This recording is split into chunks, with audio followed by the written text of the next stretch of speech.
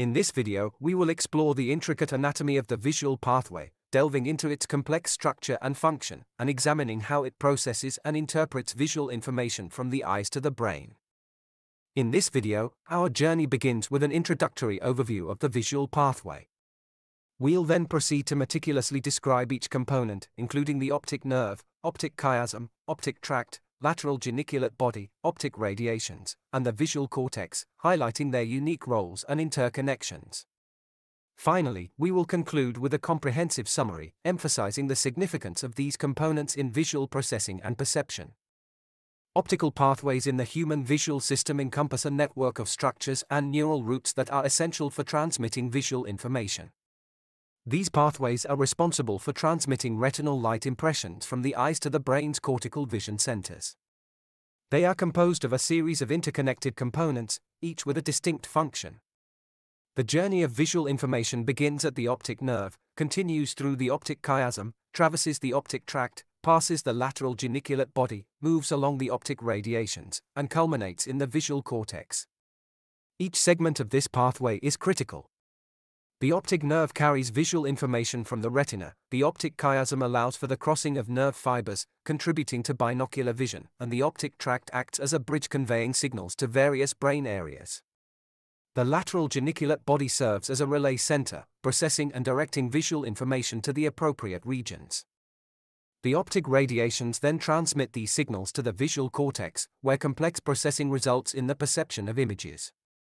Damage to any of these components can lead to specific alterations in vision, manifesting as changes in the visual field. For example, lesions in the optic nerve may result in blindness in one eye, while damage to the optic chiasm can cause loss of peripheral vision. Lesions in the optic tract, lateral geniculate body, or optic radiations lead to characteristic patterns of visual field loss. Thus, the nature of the visual field defect can be a critical clue in localizing and diagnosing lesions within these pathways. The optic nerve, or the second cranial nerve, is a crucial component of the visual pathway, beginning its journey as a collection of axons from ganglion cells situated in the retina. These axons converge to form the optic nerve, which emerges from the back of the eye at the optic disc, a point where there are no photoreceptor cells, often referred to as the blind spot. Anatomically, the optic nerve is encased in a sheath of meninges, similar to those surrounding the brain, and is bathed in cerebrospinal fluid. This nerve travels through the bony orbit of the eye and the optic canal, a narrow passage in the sphenoid bone. As the nerve progresses, it carries the vital visual signals from the retina and moves posteriorly towards the brain. The path of the optic nerve is characterized by a slight arc to accommodate eye movement. Upon reaching the optic chiasm, Located at the base of the brain near the hypothalamus, the optic nerve fibers undergo a partial decussation or crossing. Here, the fibers from the nasal, or medial, half of each retina cross to the opposite side, ensuring that visual information from the right field of view of both eyes is processed in the left hemisphere of the brain, and vice versa. This anatomical arrangement is pivotal for binocular vision and depth perception, as it allows the visual cortex to receive input from both eyes for the same field of view. After crossing at the chiasm, the fibers continue as the optic tracts. The optic disc or the optic nerve head is a notable feature in the retina where the optic nerve connects to the eye. Also referred to as the optic papilla, this area is divided into three anatomically distinct regions the prelaminar region, situated anteriorly to the scleral lamina. This region marks the beginning of the optic nerve head. It is defined by the choroidoscleral canal, forming the periphery of the optic disc. Here, the optic nerve fibers are unmyelinated, allowing direct observation of the nerve fibers through an ophthalmoscope. The papillary excavation, a central depression, is a key feature. In conditions like glaucoma, this depression can deepen, indicating potential nerve damage. The lamina cribrosa, resembling a sieve, this mesh-like structure is located within the optic disc. It serves as a critical junction where optic nerve fibers, stemming from retinal ganglion cells, pass towards the brain. Primarily made up of collagen and elastic fibers, it provides structural integrity and adaptability to the optic nerve, especially important given the variations in intraocular pressure. And the retrolaminar region, this region lies posterior to the lamina cribrosa. It is characterized by the myelination of optic nerve fibers, which occurs immediately after they pass through the lamina cribrosa. This myelination is critical for the rapid transmission of visual information to the brain. The retrolaminar region also has a richer vascular supply compared to the prelaminar region, supplied by the short posterior ciliary arteries. The structural integrity and health of this region are vital for the overall function of the optic nerve as it transitions from the eye to the brain's visual pathways. The course of the optic nerve is intricate, extending obliquely backward and inward from the eye, and can be categorized into several distinct segments. Intraorbital portion. This segment is further subdivided into two parts. The intraocular part, also known as the retrolaminar region, is the initial portion of the optic nerve, situated within the eye. It originates at the optic disc, where the nerve fibers emerge from the retina. And the orbital part follows after the optic nerve exits the eye. It is approximately 25 to 30 mm in length and travels within the orbital fat and connective tissues. Encased in meningeal sheaths and bathed in cerebrospinal fluid, similar to the brain, this part of the nerve adopts a slightly curved, elongated S shape. This curvature is essential as it forms the central axis of the musculoaponeurotic cone, allowing the eye to move freely without stretching the nerve. Intracanalicular portion, continuing its path, the optic nerve then enters the optic canal. This narrow bony passageway, located within the lesser wing of the sphenoid bone, measures about 6 to 10 millimeters. This segment is pivotal as it marks the transition of the optic nerve from the orbit to the cranial cavity. Intracranial portion, the final segment of the optic nerve, this portion lies within the middle stage of the skull base. Approximately 10 millimeters in length, it extends from the optic canal up to the optic chiasm. Here, the nerve forms the anteroexternal angle of the chiasm, a critical juncture where the optic nerve fibers intersect and partially cross over to the opposite side.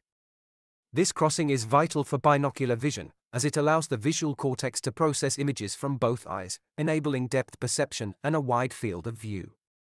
The optic nerve sheaths are the protective coverings that surround the optic nerve, crucial for its protection and support. These sheaths, continuous with the meninges of the brain, consist of three distinct layers, each with unique characteristics and functions. The outermost layer, the dura mater, is the toughest and most durable. It envelopes the optic nerve from its intracranial entry point at the optic foramen in the optic canal, extending to where it fuses with the sclera of the eye.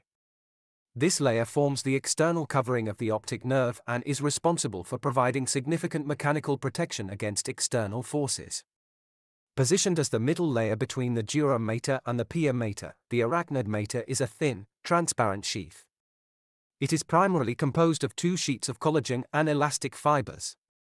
The arachnoid mater's structure enables it to provide a cushioning effect, safeguarding the optic nerve from mechanical shocks and vibrations. Lastly, the pia mater, the innermost layer, is a delicate and highly vascularized membrane that intimately adheres to the surface of the optic nerve. It plays a crucial role in maintaining the structural integrity of the nerve, providing a supportive framework for the blood vessels that supply it. Between the arachnoid and pia mater lies the subarachnoid space, filled with cerebrospinal fluid. This fluid-filled space not only cushions the optic nerve but also helps to maintain a stable environment for the nerve fibers. The cerebrospinal fluid in the subarachnoid space is in continuous communication with the cerebrospinal fluid within the brain, facilitating the balance of fluid and pressure dynamics across the central nervous system. This connection is fundamental in protecting the optic nerve and ensuring its optimal functioning. The blood supply of the optic nerve is intricate and essential for its functionality. It is provided by a network of arteries, specifically adapted to the distinct segments of the optic nerve the intracranial and intracanalicular portions of the optic nerve receive their blood supply from branches of the ophthalmic artery and pial vessels. The intracanalicular part, located within the confines of the bony optic canal, is particularly noteworthy. Due to the limited space in this region, its blood supply is relatively sparse and more susceptible to injury, making it a critical area for the health of the optic nerve. The vascularization of the intraorbital portion of the optic nerve is categorized based on the entry point of the central retinal artery, found at the ventral surface of the nerve. Behind the entry point, the optic nerve is predominantly vascularized by peripheral vessels, known as pial arteries. These arteries weave around the optic nerve, forming a network that provides essential nutrients and oxygen. Forward of the entry point, the blood supply strategy is twofold. Peripheral pial arteries maintain their role in nourishing the outer layers of the optic nerve. Additionally, a central vascular supply, stemming from branches of the central retinal artery, plays a crucial role in supplying blood to the inner portions of the optic nerve. This vascular arrangement ensures that all regions of the optic nerve receive adequate blood flow, which is vital for maintaining its health and optimal functioning.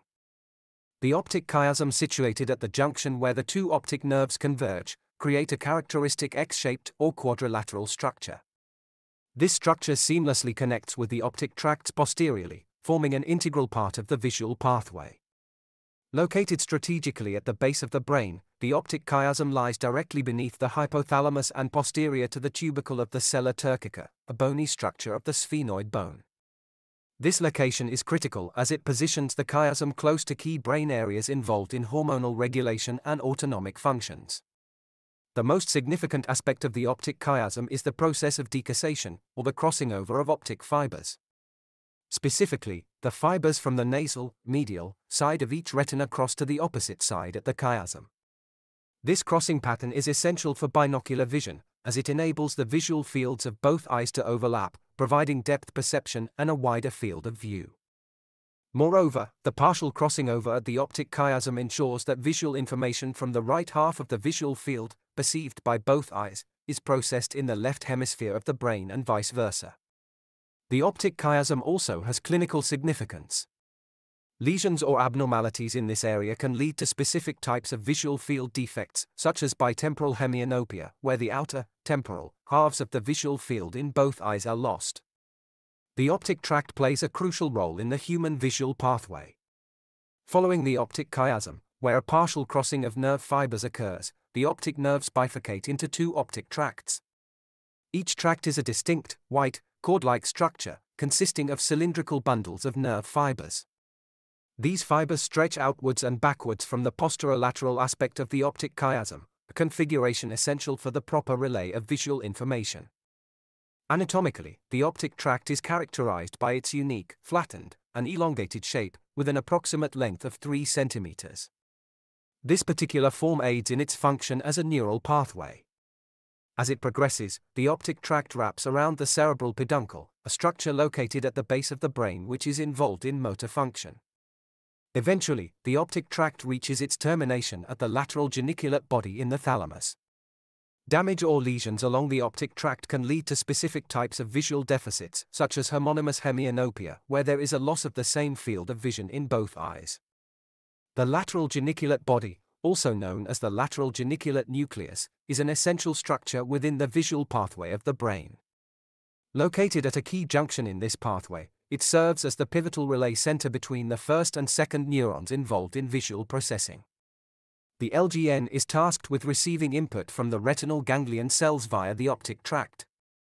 Once this input is received, the LGN undertakes the critical process of organizing and refining the visual signals before they are relayed to the visual cortex in the occipital lobe for advanced processing. This includes integral functions in perception such as color differentiation and motion detection. In this structure, the axons of retinothalamic cells, which originate in the retina, terminate. Anatomically, the lateral geniculate bodies are situated adjacent to the pulvinar of the thalamus, which itself is near the base of the brain. Each LGN has a distinct, elongated, oval shape, and is uniquely twisted back and forth on itself. This particular shape contributes to its functional efficacy in processing visual signals. From a vascular perspective, the LGN is well supplied by the anterior and posterior choroidal arteries. This rich blood supply is essential for maintaining the health of the neurons and ensuring the efficient processing of visual information. Clinically, damage or lesions to the LGN can lead to various types of visual disturbances. These can include specific defects in the visual field, such as homonymous hemianopia, or broader problems with visual perception. Optic radiations, or geniculocalcarine tracts, are integral to the visual system, bridging the lateral geniculate nucleus and the primary visual cortex. These white matter bundles begin at the lateral geniculate nucleus in the thalamus and span posteriorly through the brain, intricately weaving through the parietal and temporal lobes. The dual components of these radiations, the superior and inferior, are tasked with relaying information from different parts of the visual field, the superior radiations carrying data from the lower fields through the parietal lobe, and the inferior radiations, including Meyer's loop, transmitting from the upper fields via the temporal lobe. These pathways are further subdivided into four parts, each playing a unique role in visual signal transmission. The initial part or optic pedicle, here, a robust bundle of nerve fibers extends outward and upward from the lateral geniculate nucleus. The knee, marked by a critical bending point, the knee of the optic radiations is where the fibers take a sharp turn backward. The middle part, characterized by anteroposteriorly oriented fibers, this segment ensures the directed and efficient flow of visual signals toward their ultimate destination. And the terminal part, as the journey of the optic radiations nears its end, the fibers curve inward toward the calcarine fissure in the occipital lobe. The anatomical complexity of optic radiations means that damage to these tracts can have profound effects on vision. Depending on the location of the lesion, various types of visual field deficits can occur. For instance, damage to the right parietal lobe can result in left lower quadrantanopia, indicating the loss of the lower quarter of the visual field in both eyes. The visual cortex, located in the occipital lobe at the back of the brain, is intricately structured and specialized for processing visual information. It consists of several distinct areas, each contributing to different aspects of visual perception. The striate cortex, also known as the primary visual cortex or V1, this is the most fundamental area within the visual cortex, where visual stimuli from the retinas are first processed. It is characterized by a distinctive striated appearance due to the layering of neurons and their connections. In the primary cortex, basic visual elements such as light intensity, shape, size, and color are extracted and processed. Beyond the primary cortex, there are higher order visual areas involved in more complex aspects of vision, known as the areas for integration and motor responses. These areas integrate the basic visual information with other sensory inputs and motor responses, contributing to functions like depth perception, motion detection, and spatial awareness. Anatomically, the occipital lobe is marked by six gyri, or ridges, each separated by sulci, which are grooves or depressions. These gyri and sulci increase the surface area of the cortex, allowing for a denser packing of neurons and more complex processing capabilities. The posterior cerebral artery plays a crucial role in the vascular supply of the visual cortex. Disruptions in this blood flow can result in visual impairments or loss, underscoring the artery's critical role in maintaining the functionality of the visual cortex. In conclusion, the visual pathway's anatomy is a testament to the intricacy and precision of the human body's design. Starting with the critical act of physical stimulation within the retina, functioning as the primary sensor, captures light and converts it into electrical signals. These signals then embark on a meticulously charted journey through the optic nerve, navigating the complex neural network of the brain. As the signals traverse the optic chiasm and travel through the optic tracts and radiations, they reach the visual cortex, the brain's central processor for visual information.